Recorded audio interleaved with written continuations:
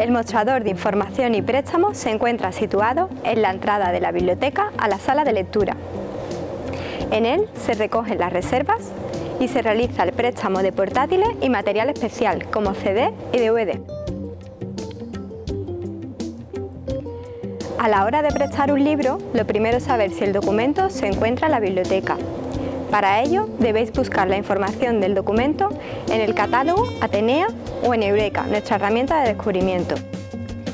Ambas os darán información sobre la ubicación del documento, la asignatura, la disponibilidad y el tipo de préstamo, corto o largo. Para que sea más fácil su localización, os recomendamos apuntar la asignatura y acudir con ella a la estantería donde se encuentra el documento.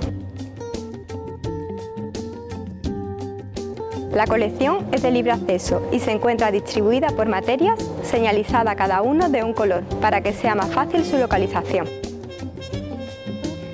Una vez localizado el documento en la estantería, debéis acudir a las máquinas de autopréstamo, situadas junto al mostrador. Debéis identificaros con vuestras claves de usuario y contraseña de la universidad o bien con vuestra tarjeta universitaria. La biblioteca pone a vuestra disposición Mi Cuenta. Con este servicio podréis saber los documentos que tenéis en préstamo, podréis saber las fechas de devolución de cada uno de ellos y renovar los documentos.